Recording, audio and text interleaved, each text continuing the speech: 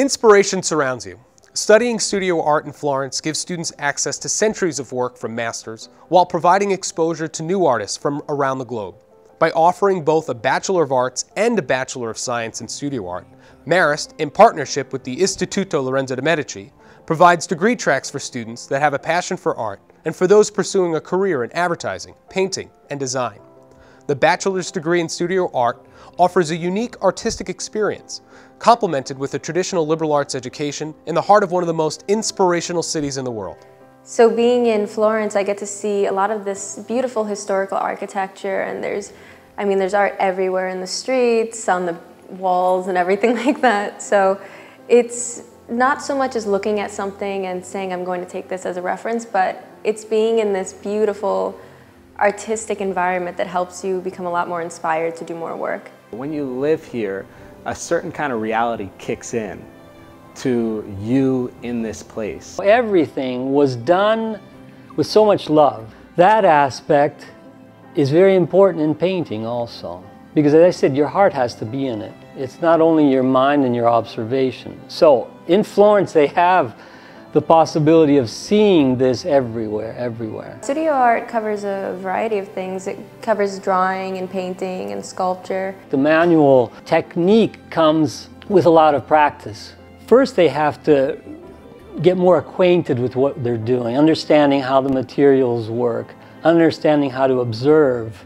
Uh, the manual aspect comes later. Art is so much more than just the technical acquisition which I'm giving them you know, and it's what you do with it.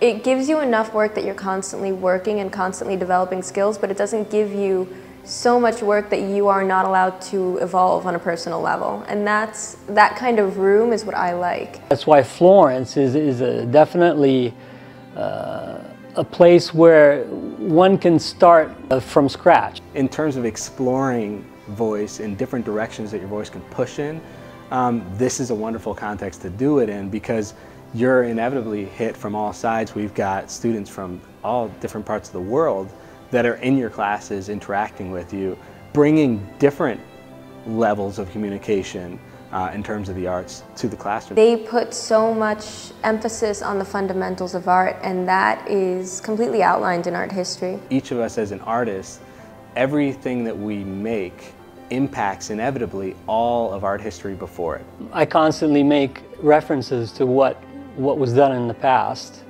and uh, try to focus uh, on what the student might learn from the past and apply it to present day. If you're in the United States and you want some artistic inspiration, you have to go to like the Met or you have to go to any museum and specifically seek it out. Here, it's like you can be inspired just by walking and breathing. Inspiration comes as easy as breath almost. I think that all of our perceptions are really changed by being here. It's kind of an awakening of understanding who you are, where you're coming from in a more specific way. You're studying Florence, which is something that if you study art, you're going to study it out of a book. You may as well do it in person where you can access everything.